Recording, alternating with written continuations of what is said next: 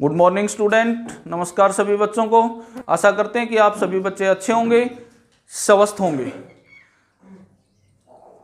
तो हम इस महामारी में आप अपनी ऑनलाइन वीडियो के माध्यम से घर बैठ के अपनी तैयारी अच्छी प्रकार से करते होंगे। प्यारे बच्चों, आपको पता है कि ये जो टेंथ क्लास हमारी है, ये बोर्ड की क्लासें हैं।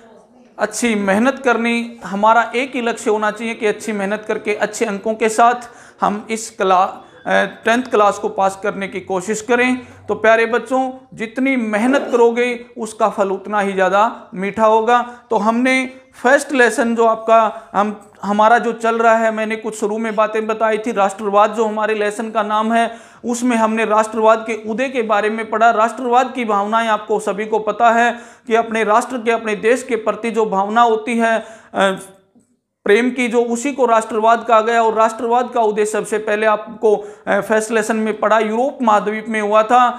फ्रांस के अंदर, जर्मनी में इस प्रकार इटली के अंदर एकीकरण होता गया। राष्ट्रवाद पूरे विश्व के अंदर फैलता गया। तो धीरे धीरे धीरे धीरे पूरे विश्व के अंदर राष्ट्रवाद की भावना अलग अलग देश बने, राष्ट्र बने अलग अलग राजधानियाँ बनी, एकजुटता आई लोगों के अंदर। तो ये सारे विचार राष्ट्रवाद से उदय हुए उदय हुए हैं, यूरोप से उदय हुए हैं। तो आज हम आगे बढ़ाते हुए जो हमारा सेकंड लेसन है, वो पिछली साल कोरोना की वजह से भी बोर्ड ने जो 30 प्रतिशत सिलेबस जो हमारा कट किया था, उसमें वो लेसन सेकंड लेसन कटा हुआ है तो हम थर्ड लेसन पढ़ेंगे।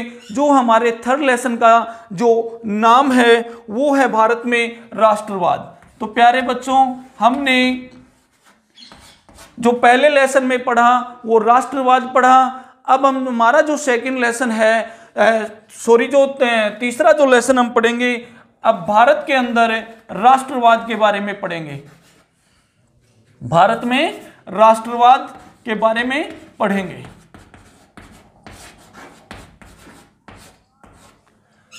प्यारे बच्चों, आप सभी को पता है, भारत सदियों तक कभी मुगलों का गुलाम रहा, कभी अंग्रेज़ों का गुलाम रहा। बहुत बलिदान, साहस, वीरता हमारे क्रांतिकारियों ने संघर्ष करके हमें आज़ादी दिलाने का काम किया, एक राष्ट्र गठित करने का काम किया। तो प्यारे बच्चों, हमें आज़ादी 1947 में, उन्नीस सौ सैंतालीस में 15 अगस्त को मिल गई थी। तो हमारे देश भी पाँच रियासतों में बटा हुआ था, टुकड़ों में बटा हुआ था। इनको एकजुट करना बड़ा ही कठिन और असंभव कार्य था। हमारे देश के जो गृह मंत्री थे, उप प्रधानमंत्री थे, श्री सरदार वल्लभ भाई पटेल को ये काम सौंपा गया था और उन्होंने बड़ी प्रेम पूर्वक भावना से, बड़ी समझ से, सूझबूझ से पूरे राष्ट्र को एक करने का काम किया। जो रियासतें, जो रजवाड़े, जो बात नहीं मानी, पहले वो इकट्ठे नहीं हुए धीरे धीरे बाद में वो भी भारत के साथ इकट्ठे हो गए थे और एक राष्ट्र का निर्माण करने का काम किया था और एक राष्ट्र की राजधानी के रूप में दिल्ली को बनाया गया था। दिल्ली भी कई बार अपने समय के अंदर बार बार राजधानी बनती गई, बिछड़ती गई। तो आज अगर वर्तमान में हम ज़िक्र करते हैं तो हमारी देश की राजधानी नई दिल्ली है। तो राष्ट्रवाद क्या होता है? एक राष्ट्र क्या होता है? बलिदान साहस वीरता घटनाओं का एक जीता जागता उदाहरण होता है राष्ट्रवाद। एक राष्ट्रवाद अपने राष्ट्र के प्रति प्रेम की भावना राष्ट्रवाद कहलाती है। तो प्यारे बच्चों, हम भी सबसे पहले अगर हमसे कोई पूछता है तो हम सबसे पहले अपने आप को इंडियन कहते हैं, भारतीय कहते हैं। तो यही हमारी राष्ट्रीयता है, यही हमारा राष्ट्रवाद है, अपने देश के प्रति सच्ची भावना। कोई भी लड़ाई या जैसे देश की सीमाओं पे सरहद पर कुछ होता है तो हमारे अंदर भी राष्ट्र के प्रति भावना जागृत होती है। और आज इस महामारी के अंदर भी हमारी एक राष्ट्रीय भावना है कि एक साथ जुट कर हम इकट्ठा होकर इस महामारी, इस खतरनाक बीमारी इस लड़ाई का सामना करें और इसको हराने की कोशिश करें। तो प्यारे बच्चों, भारत में राष्ट्रवाद का उदय। तो भारत के अंदर हम राष्ट्रवाद के बारे में पढ़ेंगे। तो सबसे पहले हम राष्ट्रवाद पढ़ते हैं। राष्ट्रवाद होता क्या है? तो प्यारे बच्चों, राष्ट्रवाद आपने पहले भी पढ़ा था, मैंने आपको बताया भी है। राष्ट्रवाद राष्ट्रवाद राष्ट्र के प्रति प्रेम भावना, बलिदान, साहस का प्रतीक होता है। राष्ट्रवाद। दूसरे नंबर पे जो बात आती है हमारी गांधी जी के आरंभिक आंदोलन देश का ज़िक्र आया है राष्ट्रवाद का। भारत का ज़िक्र आया है तो भारत में राष्ट्रवाद के जो बात के बाद जो बात आती है, गांधी जी आते हैं। गांधी जी, आप सभी को पता है, हमारे देश के बहुत वृद्ध व्यक्ति थे, बहुत साहसी और निर्भीक थे, जिन्होंने एक साधारण व्यक्ति की तरह लड़ाइयाँ, लड़के संघर्ष करके, अहिंसा के मार्ग पर चलकर हमारे देश को आज़ादी दिलाने का काम किया है। तो गांधी जी, आपको सभी को पता, अठारह सौ तिरानवे में एक वकालत करने के लिए, एक केस लड़ने के लिए दक्षिण अफ्रीका जाते हैं और 1915 में वापस लौटते हैं इक्कीस साल वो दक्षिण अफ्रीका में रहने के बाद भारत आते हैं। भारत आने के बाद उसने, जैसा भारत वो छोड़ के गया था, वैसा भारत उसको नहीं मिला, बहुत बदलाव मिला।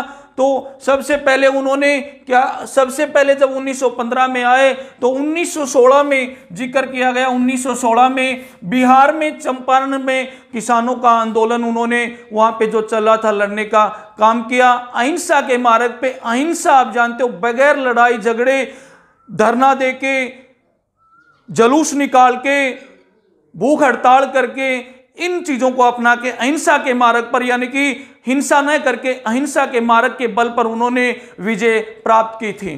तो 1916 में बिहार के अंदर चंपारण जगह है, वहाँ पे आंदोलन चलाया।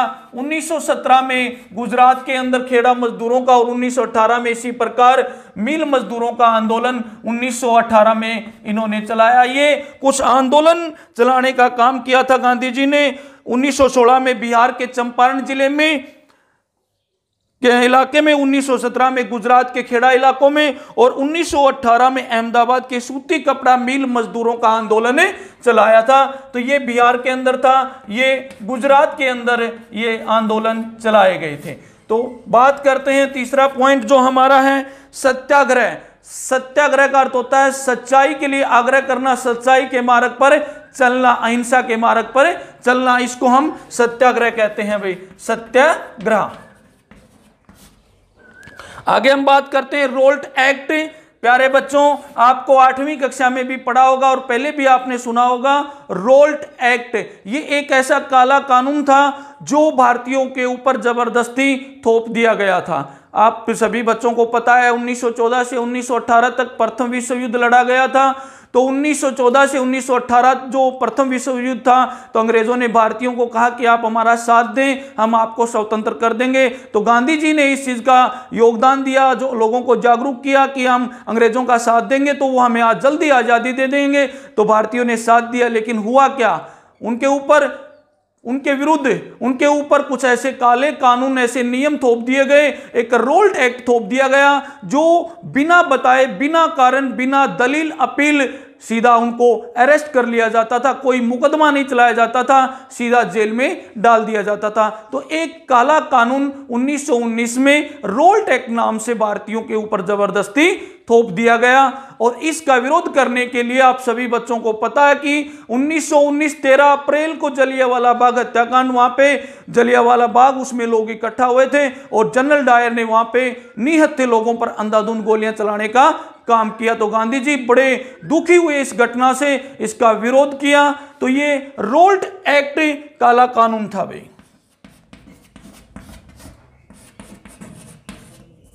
तो प्यारे बच्चों, आपको पता है, ये 1919 में। आगे हम पढ़ते हैं, जलियावाला बाग हत्याकांड, ये मैंने आपको बताया है, जलियावाला बाग हत्याकांड 13 अप्रैल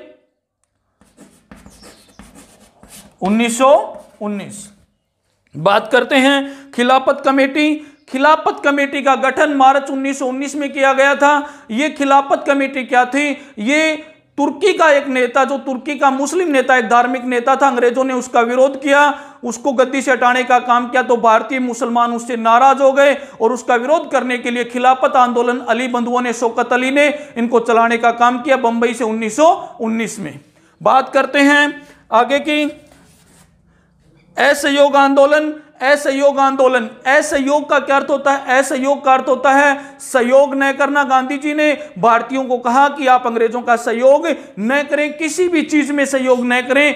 तो ये 1920 में असहयोग आंदोलन चलाया गया था। आगे हम बात करते हैं चोरी चोरा कांड की। तो असहयोग आंदोलन 1920 में चलाया गया था। कब चलाया गया था भाई? 1920 में। और 5 फरवरी 1922 को हमारा वर्तमान उत्तर प्रदेश के गोरखपुर ज़िले में जो, जहाँ से, गोरखपुर ज़िले से जहाँ से सांसद योगी आदित्यनाथ जी सांसद चुने जाते थे, आज जो वर्तमान यूपी के उत्तर प्रदेश के मुख्यमंत्री हैं, वो विधायक हैं, वहाँ से गोरखपुर उनका क्षेत्र है तो वहाँ पे एक चोरी चोरा नामक एक जगह थी, वहाँ पे एक पुलिस चौकी थी तो वहाँ उस असहयोग आंदोलन की भीड़ ने उनके पुलिस चौकी को आग लगा दी, जिसमें 20 इक्कीस पुलिस वाले ज़िंदा जल गए थे। इस घटना से दुखी होकर गांधी जी ने 5 फरवरी 1922 को असहयोग आंदोलन वापस ले लिया था।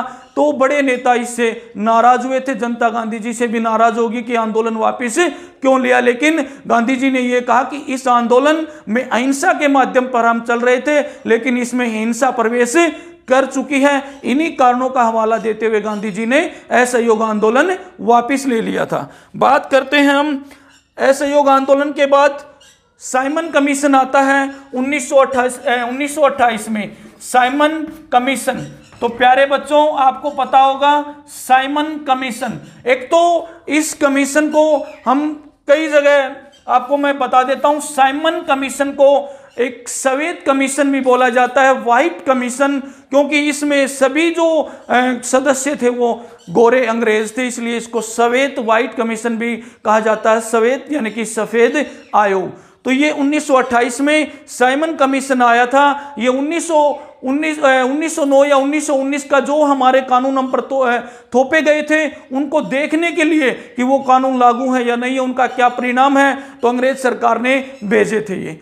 तो इनका विरोध करने का काम किया। भारतीयों ने इनका जो स्वागत किया, वो गो बैक नारे से किया। Go back. Simon Commission, go back, वापिस जाओ। भारतीयों ने इस चीज़ का विरोध किया। तो इसका जो विरोध करने में अहम रोल अदा किया लाला लाजपत राय ने, जो गरम दल के नेता थे। 1928 में उनके ऊपर लाहौर के अंदर उसमें लाठियाँ बरसाई गई, जिससे लाला लाजपत राय की मृत्यु हो जाती है और उस मृत्यु का बदला लेने के लिए हमारे जो तीन क्रांतिकारी, वैसे तो बहुत सारे क्रांतिकारी थे, तीन क्रांतिकारी जिनमें शहीद आज़म भगत सिंह और सुखदेव और बटुकेश्वर दत्त, जिन्होंने उस चीज़, उसका बदला लेने के लिए काम किया, असम्बली में दिल्ली के अंदर बम फेंकने का काम किया, जिनको फांसी दी गई। तो ये 1928 साइमन कमीशन जो भारत में आया था, भारतीयों ने इनका विरोध किया था। लाला लाजपत राय की मृत्यु हो जाती है। उसका बदला लेने के लिए हमारे क्रांतिकारियों ने असेंबली में बम फेंका, उनको फांसी दी गई। तो 1928 साइमन कमीशन का ये महत्व है। अगर हम बात करें आगे, पूर्ण स्वराज्य प्रस्ताव, पूर्ण स्वराज्य प्रस्ताव उन्नीस सौ उनतीस में लाहौर अधिवेशन में, जो उस समय पंडित जवाहरलाल नेहरू के नेतृत्व में हमें कि पूर्ण संविधान हमें पूर्ण साम्राज्य चाहिए। ये लाहौर में मनाया गया था, उन्नीस सौ उनतीस में हमारा पहला स्वतंत्रता दिवस मनाया गया था। ये इसमें पास किया गया था 1930 में मनाया गया था 26 जनवरी 1930 को। तो उन्नीस सौ उनतीस में ये पूर्ण स्वराज्य का प्रस्ताव लाहौर में पास हुआ था, पंडित नेहरू के नेतृत्व में। बात करते हैं हम प्रथम स्वतंत्रता दिवस 26 जनवरी 1930 को। 26 जनवरी 1930 तो ये प्रथम स्वतंत्रता दिवस मनाया गया था बच्चों 26 जनवरी 1930 को। और 26 जनवरी के दिन को याद रखने के लिए हमारे देश का जो संविधान है, हमारे देश का जो गणतंत्र हमारे देश को बनाया गया, वो 26 जनवरी को लागू किया गया था। क्योंकि आप सभी को पता है कि हमारे जो देश का संविधान 26 नवंबर को बन के नवंबर को बन के तैयार हो गया था अंगीकार अपना लिया गया था 26 नवंबर उन्नीस को। इसको अपना लिया गया था लेकिन लागू 26 जनवरी 1900 26 जनवरी 1950 को किया था क्योंकि 26 जनवरी को हमारे देश ने पहला स्वतंत्रता दिवस मनाया था। आ, आगे हैं नमक यात्रा। अंग्रेज़ों ने नमक के ऊपर कानून बना दिया था। एकाधिकार एकाधिकार कानून, नमक कानून जिसको कहते हैं कि अंग्रेज़ लोग ही नमक बनाएँगे, कंपनी बनाएगी और कोई भी नमक नहीं बनाएगा। तो गांधी जी ने एक ही बात कही थी कि नमक ये एक साधारण ये एक सभी घरों में यूज़ होने वाला एक पदार्थ है। आम लोगों की ज़रूरत अनिवार्य है। इस पे कानून मत बनाओ, लेकिन अंग्रेज़ों ने बात नहीं मानी। तो अंग्रेज़ों ने इस पे कानून बना दिया तो गांधी जी ने इसका विरोध किया, दांडी मार्च यात्रा निकाली, अहमदाबाद साबरमती नदी से, और ये दांडी गुजरात समुद्री तट पर पहुँचे। 12 मार्च 1930 को इन्होंने स्टार्ट करने का काम किया था 6 अप्रैल 1930 को ये दांडी पहुँचे थे। अपनी लगभग 24 दिन की यात्रा में 240 किलोमीटर की दूरी तय करके इन्होंने उस आंदोलन को, नमक आंदोलन को तोड़ने का काम किया, और उसी के साथ सविनय हो गया आंदोलन भी 1931 में स्टार्ट हो जाता है। सविनय हो गया आंदोलन, हम इसमें पढ़ेंगे आगे, आपको अच्छी प्रकार से बताने का काम करेंगे।